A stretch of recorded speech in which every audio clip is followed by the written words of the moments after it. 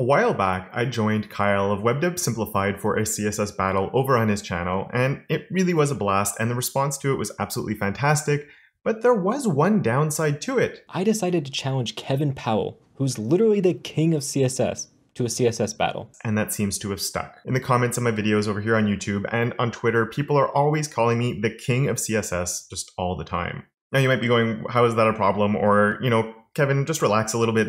Take the compliment, be happy that people appreciate how good you are at CSS. And maybe it's just the humble Canadian in me, but I do think that calling me the king puts me on too much of a pedestal.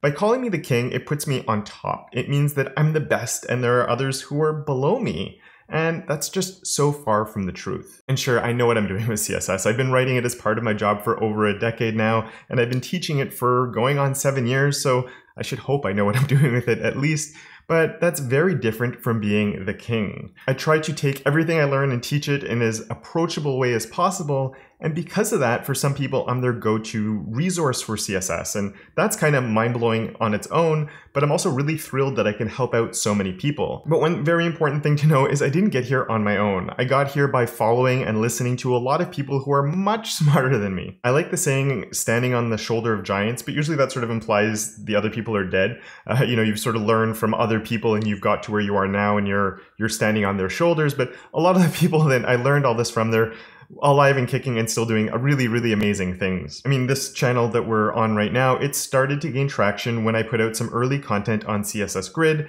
and i learned pretty much everything in those videos from jen simmons and rachel andrew who both know more about css than i ever will and who both have had and continue to have a significant influence on where css and the web are today I had my eyes open to the creativity of CSS when I read Lea Verou's CSS Secrets book, and I continue to learn from and be amazed by the content that she continues to put out. I've also learned an incredible amount from Andy Bell, picking up ideas from his tutorials and courses, not to mention his fantastic every layout that he created along with Heydon Pickering. And speaking of Heydon, I'm also a massive fan of his Webbed Briefs video series, which is just really funny and awesome and teaches you a lot along the way. And I'm inspired by his strong advocacy for accessibility as well. Then there's Miriam Suzanne, who actually changed how I see and approach CSS with a single wonderful video. I mention it in a lot of my videos, but if you haven't checked it out, it's about why CSS is so weird. I've linked it down below because uh, it really did completely just make me it made me realize something i already knew about it since i was pretty heavy into css at that point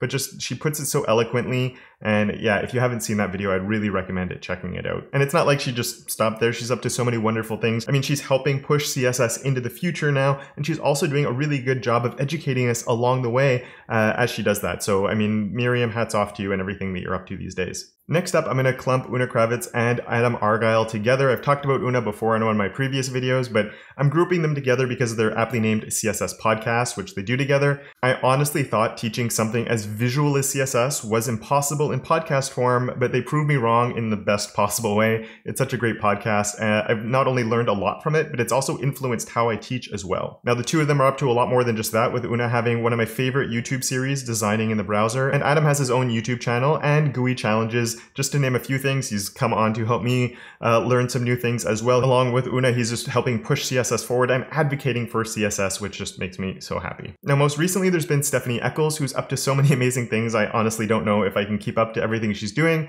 uh, but she's had a huge influence on how I write my own CSS with her elegant and clever uses of modern CSS.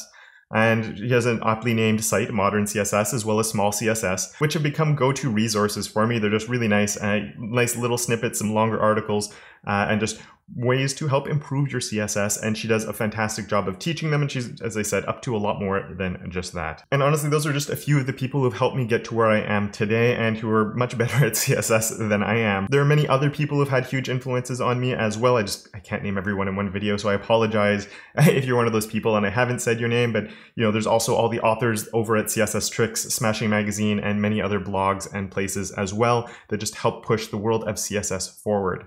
And of course, that's not mentioning all the wizards and artists out there who create the most amazing things with CSS with people like Jhey, Amit Sheen, and the others who create ridiculous demonstrations that just showcase us the power of CSS over on CodePen and on their own platforms. I'm always learning from these brilliant people, and I wouldn't know 10% of what I know about CSS if it wasn't for these people that I've just talked about and all the ones that I forgot. Now, I think what has helped me become the face of CSS for some people is for whatever reason, my approach and style of teaching seems to click for many people.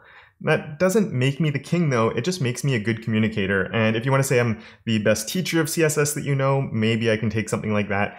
Uh, but I just think that you also don't want to limit yourself to one person, even if their style and their approach really clicks for you. Every person will have different experiences and different points of view influencing how they do things and affecting their teaching. And you know they have different work experience and different life experience that all impacts on all of this. So even if you're enjoying my content because my style does click with you you shouldn't just stick with me. Uh, it's really going to help you learn things when you're seeing the multiple different ways people are approaching the same things. You can see the things that people do similarly things people do differently and everyone will bring something different to the table and you can learn from all of that instead of just focusing on one person and that's going to make you better for it now it might seem a little bit silly to be making a video just entirely about how i'm not comfortable with the title that people have started to call me, and especially when it's meant as a compliment. Now, I don't mean to put down or undermine anyone who's been giving me that compliment. It's a compliment after all, but I feel like it doesn't acknowledge or include all the others that are out there. So maybe there are lots of princes and princesses of CSS, or gurus or senseis, or whatever else you'd like to go with. But King, in a world as inclusive as the internet is, with so many people that share so many amazing pieces of information, and where there's always someone who's better than you, the king, it just doesn't seem to be the right fit. Now, for a lot of people, I also manage to make CSS that is something less frustrating and hopefully even something that they enjoy. Now, that it just makes me so happy.